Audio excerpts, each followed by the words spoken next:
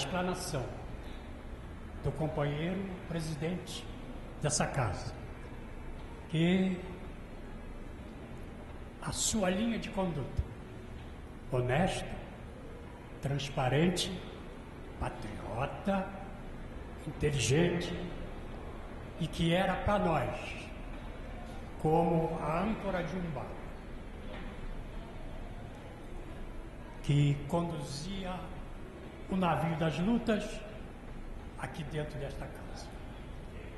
Os operários navais, ao que nos parece, já tinha uma índole de não se conformar apenas a trabalharem, produzirem e fazer um Brasil grande, um Brasil bonito.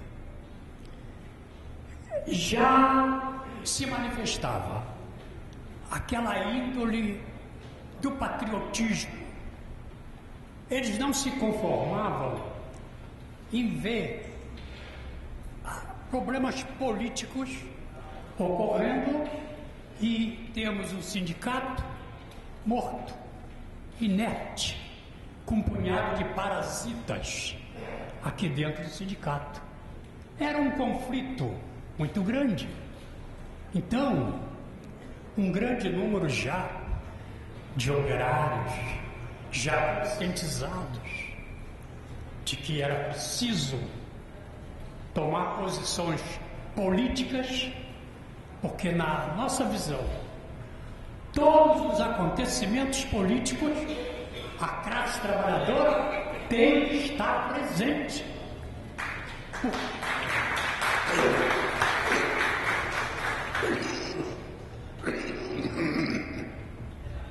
Porque ela, deste motor, deste navio, que congrega as diversas forças vivas da nação, neste navio, a classe operária é o motor. Sem essas forças vivas, esse motor não vai a lugar nenhum. Mas também as forças vivas não serão vivas se não tivermos este motor. Então há de ter um entrosamento para que a luta marche junto. Muito bem. Sentia-se nos operários, na guerra de 45, operários navais, na rua, pedindo que fosse, vejam bem, hein? trabalhadores pedindo guerra. Nós, trabalhadores, somos amantes da paz, mas queríamos que a guerra se intensificasse, porque tínhamos que derrotar o inimigo comum da humanidade, que era o eixo Roma-Berlim que era a guerra dos nazifascismos para dominar o mundo todo. E lá estavam os operários navais participando, levantando a sua bandeira e quando batia uma embarcação nos estaleiros, que ela tinha sido abatida pelos submarinos alemães, vocês deviam ver. Que garra, que amor! Eles pegavam aquele navio para que ele voltasse logo para as águas o enfrentamento com o nazifascismo se construiu nos estaleiros da costeira vários caças submarinos para botar aqueles submarinos a fundo, porque eles queriam afundar o mundo. E lá estavam os trabalhadores operários navais, trabalhando a ponto de desmaiarem de tanto trabalho, porque eles queriam dar tudo de si para ver o nazifascismo derrotado. E companheiros, com esta participação, eles e nós, o mundo viu o nazifascismo, o terceiro Reich, ser esmagado. E ontem nós vimos a sanha de um remanescente do nazifascismo, aquele deputado canalha que prende, tortura e mata, que tentou ofuscar o brilhantismo desse trabalho patriótico da Comissão da Verdade. Eles tentaram fazer isso e fez aquele papelão e procurou mais uma vez ele se identificar com o nazifascismo. Cuidado com aquela merda social. Bem, companheiros, estas, essa índole dos trabalhadores operários navais tiraram esse sindicato daquele maragem, não faziam assembleia, não cuidavam do interesse da categoria, não liam balancetes, não cuidavam dos interesses da categoria. Ler balancete é prestar conta do dinheiro dos trabalhadores. É uma coisa de suma importância, de grande transparência e que tem que existir na luta dos trabalhadores a transparência, a honestidade. É isto é que faz a força, é isto é que faz a diferença. É a gente ver que quem está na frente da luta merece o nosso respeito, merece a nossa confiança. E confiança adquire-se com luta, com honestidade.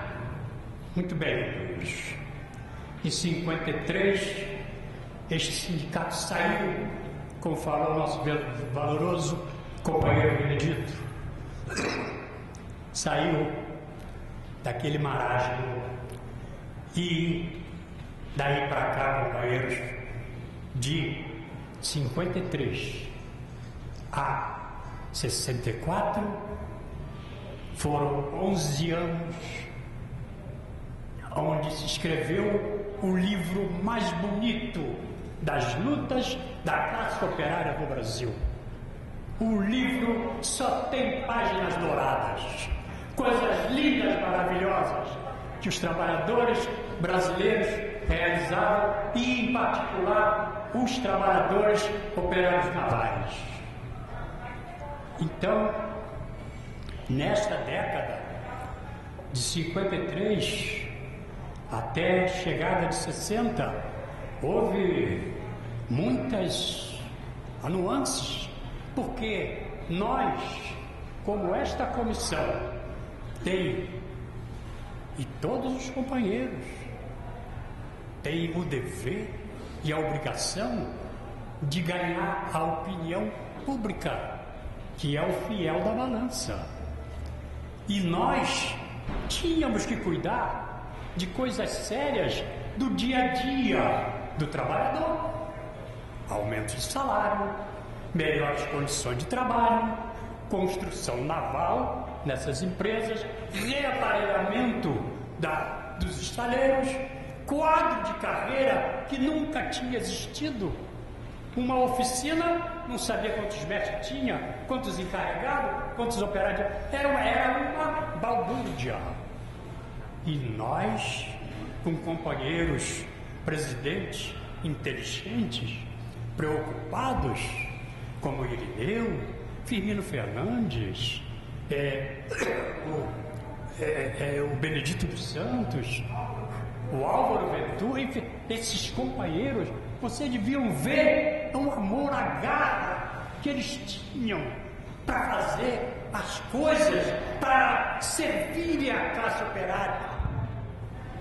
Eles tinham orgasmo de prazer quando conseguia uma vitória para essa laboriosa classe.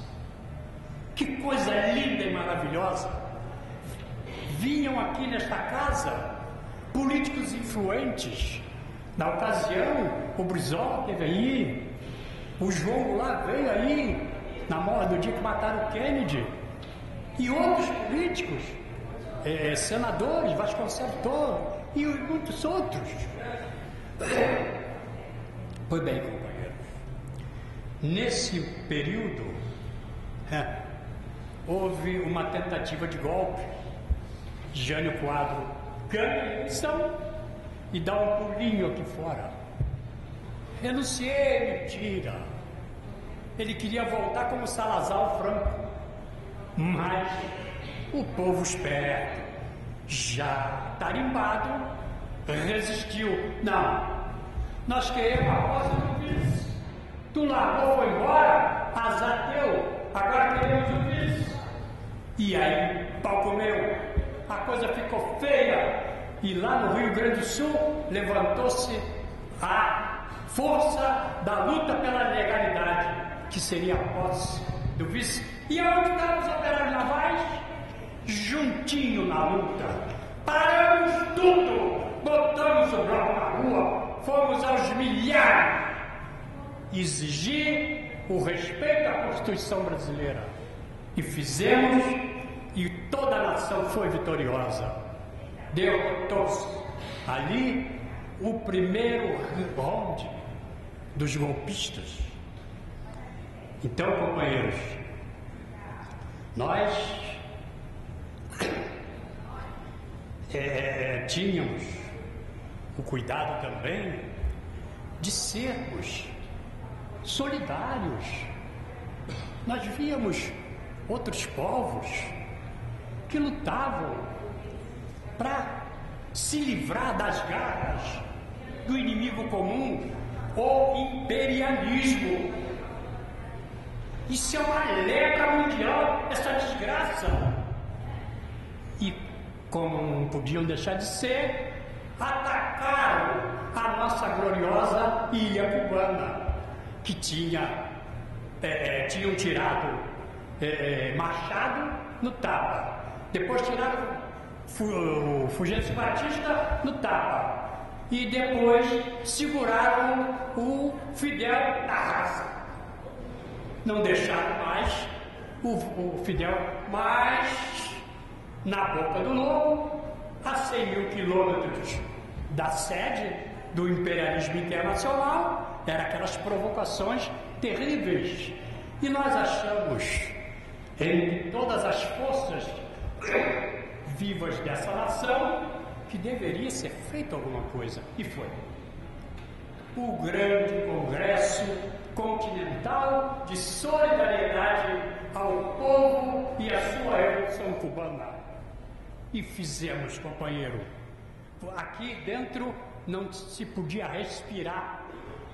Tinha aqui milhares e milhares e milhares de pessoas com influência de quase todo mundo presente e com três figuras que eu nunca mais pude esquecer. Eu era um jovenzinho de vinte e poucos anos e fiquei entusiasmado de ver na mesa e usaram da palavra três pessoas. Francisco Julião, que era o presidente nacional das Ligas Camponesas, hoje Movimento Sem Terra, né? a passionária Dolores e Barulhos, que enfrentava o, o, o Francisco Franco, o tirano, na Espanha e, como não podia deixar de ser o melhor filho da classe operária brasileira, esteve presente para trazer, hipotecar todo o seu apoio e solidariedade à Revolução Cubana e ao povo cubano, que foi o Cavaleiro da Esperança, Luiz Carlos Prestes. Mas saibam o cavaleiro não está mais entre nós, mas ficou a esperança. Vamos que vamos, porque as contradições abrem os caminhos para a grande luta que estamos empreendendo. Então, companheiros, nós criamos coisas boas para os trabalhadores. Nós criamos, lutamos muito pela construção naval no Brasil Foi feito navio aqui. Juscelino veio bater quilha na Ilha da Conceição. O navio Vitória dos Palmares, Ponta da, Ponta da Armação, Ponta Negra, foram construídos aqui pela mão do operário naval. Já não, já não precisava fazer pelo estaria da gringalhada, nós já estávamos aperfeiçoando. Mas é, é, é uma obra difícil. Um fato que não gostaria de, de esquecer. Nós tínhamos uma grande preocupação com uma empresa que nós sempre achamos que seria um grande pilar econômico para o nosso país. Chamava-se, chama-se Petrobras. Era a menina dos nossos olhos. Queria nos ferir era só dizer que a Petrobras era feia. De uma certa vez, Juscelino veio inaugurar um terminal aqui do Duque de Caxias. E nós, operários navais, sempre presente às grandes lutas políticas do país, lá, queríamos ir lá, mas não fomos convidados. Tem uma, uma panelinha no meio disso aí que não gosta de trabalhador. Trabalhador é só para trabalhar com meio do ruim. Não pode se meter em política. Mas é que faz a nação. É aquele que trabalha que faz a nação. É que gera riquezas. Não pode se meter em política, não. Que, que raciocínio hediondo, torpe, macabro, antipátrio então nós queríamos saudar o Juscelino para ele sentir que os operários navais estavam lá, juntinho, chegando junto, festejando aquele momento. Mas a segurança vem e diz que nós não podíamos nos aproximar, não fomos convidados. Nós alugamos um navio aqui, onde tinha o estaleiro Ebi antigamente ali na contorno.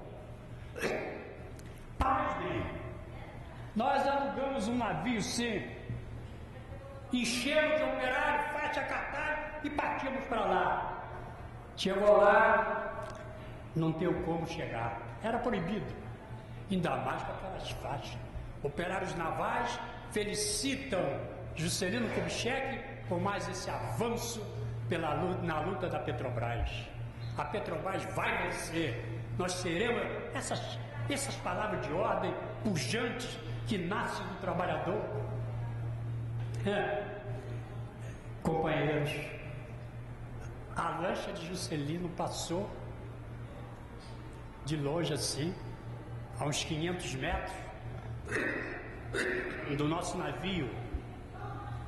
E a aparelhinho entrou na frente ele não ver mas nós tínhamos um dispositivo de queima de, queima de fogos.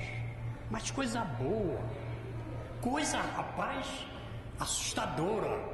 Aí os comandantes daquele movimento gritou lá, ainda me lembro, dois deles, é, Benedito Costa, que também, coitado, não está mais entre nós, e Eupídio Alves Guimarães, também não está em nosso meio. Disseram lá, Fogo! Ah! Parecia Copacabana rompendo no ano novo. Foi um tiroteio, um negócio espantoso. Até os surdos tinham que ouvir. Aí daí a um quilômetro, a lancha de Juscelino fez a volta e veio. Parou assim, a quatro metros da gente, Juscelino tirou o capacete dele e cumprimentou os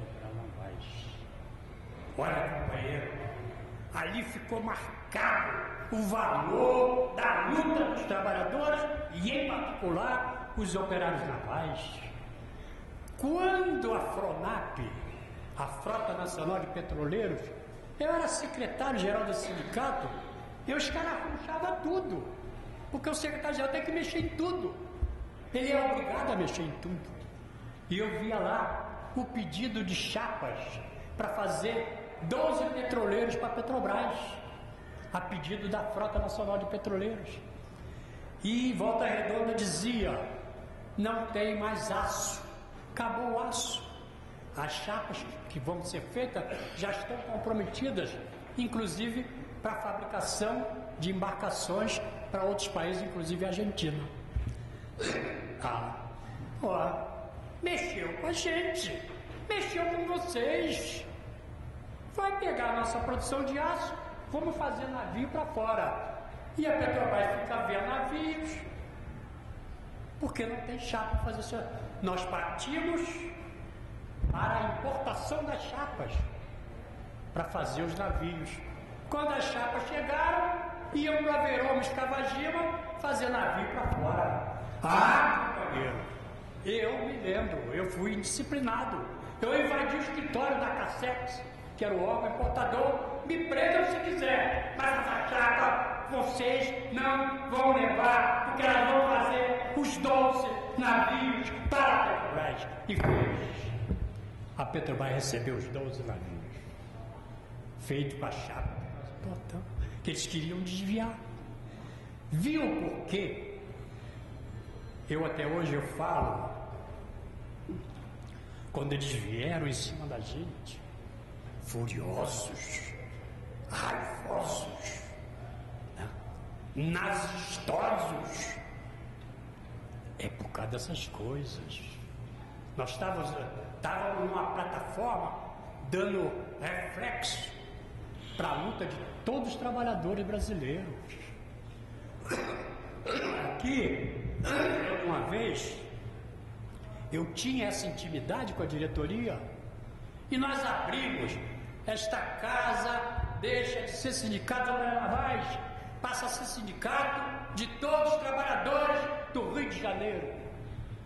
E aqui vinham trabalhadores da Marinha fazer assembleia aqui, vinha aposentado e pensionista, enchiam isso aqui, vinham trabalhadores, outros onde o patrão não deixava, né? É, é, é.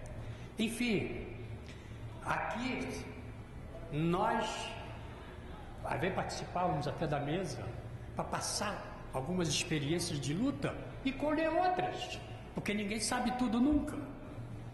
E companheiros, aqui se transformou na sede dos trabalhadores do estado do Rio. Até, pasmem, a polícia militar, a sua associação vinha fazer assembleia aqui. E nós abríamos o sindicato. Os sem terra do interior do estado do Rio nós tínhamos o cuidado, recolher ferramentas, roupas, agasalhos, alimentos e encher caminhões e mandar para essa, essa, esse pessoal que lutava por um pedacinho de terra. Hoje já escutei uma vez um sem terra dizer: nos dê a terra que precisamos e transformamos o Brasil no celeiro do mundo.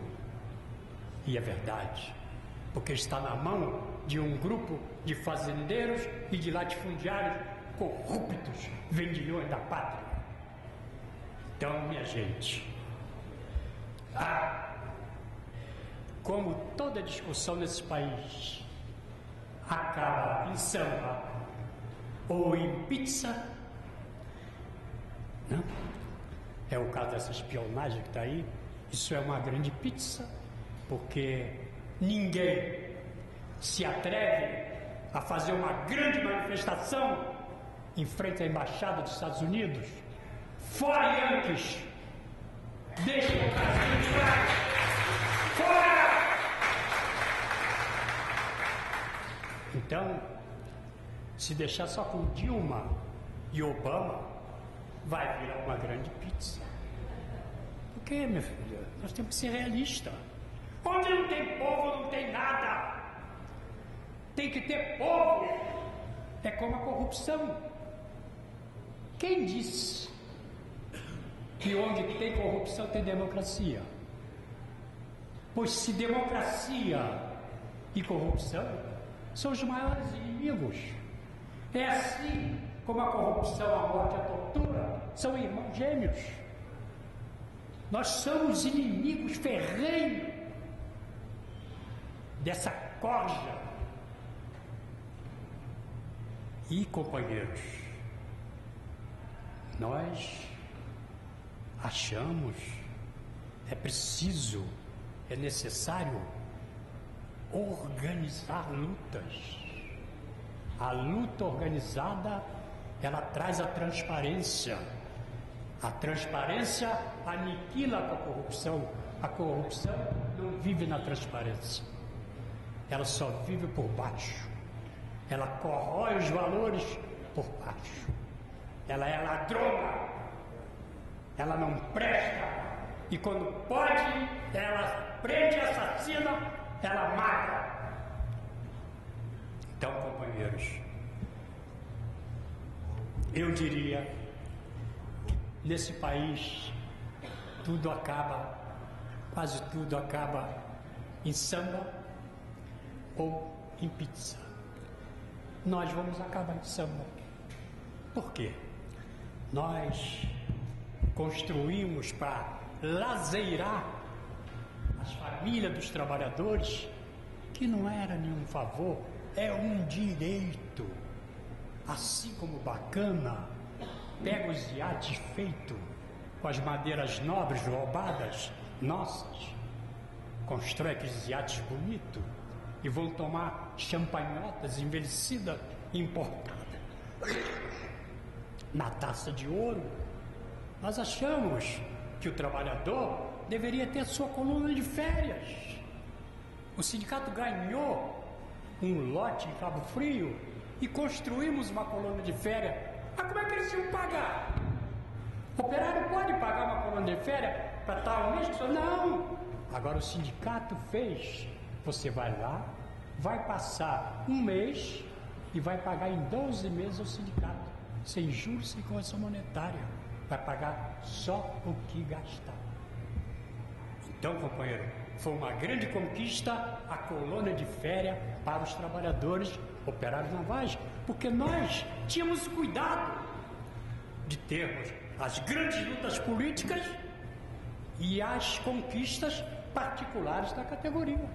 Senão eles vão falar pro vento. Pois bem, aí nós ganhamos a opinião pública de todos os setores de operários navais. Muito bem. Aí, como não podia deixar de ser, fizemos carnaval também. Companheiros, pasmem, acreditem, este cara tinha vinte e poucos anos. Podia estar brincando naquela época. E estava pulando. Eu tenho foto com o meu presidente pulando o carnaval. Hoje não. Hoje já estou massacrado pela idade massacrado pela doença, porque a prisão que tive em 69, o carniceiro da Marinha falou para mim: tu pode até sair inteiro, aliás, tu pode até sair vivo dessa, mas inteiro não. E acabaram com o meu pulmão. Pois bem, mas isso aí eu aceito como uma doação à luta, não um massacre deles. É uma doação à luta eu estou feliz porque não tenho isso por acaso.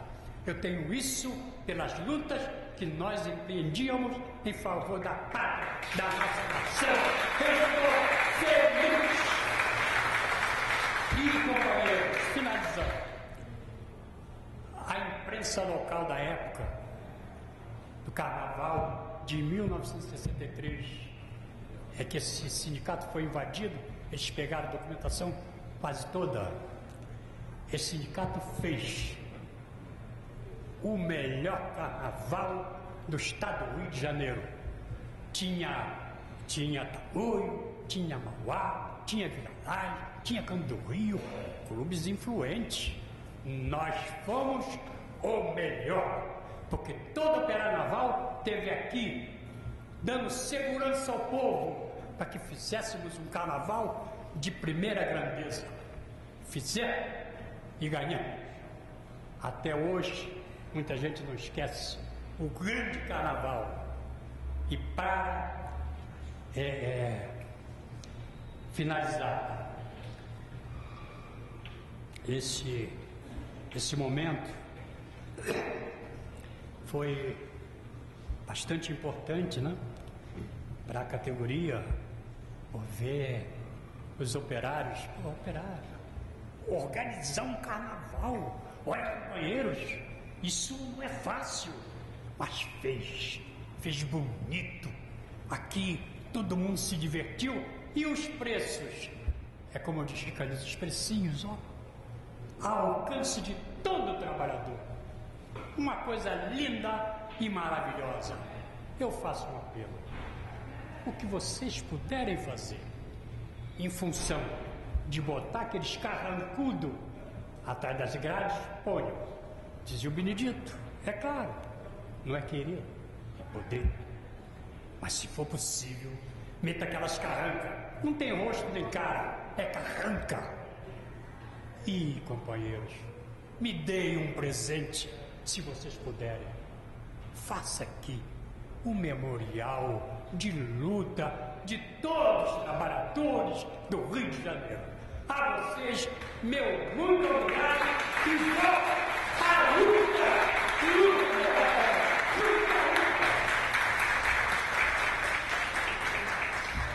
Passo aqui as mãos da comissão um depoimento de um período. Eu estive preso um período, passo aqui as mãos da comissão, alguns detalhes, não está tudo aí.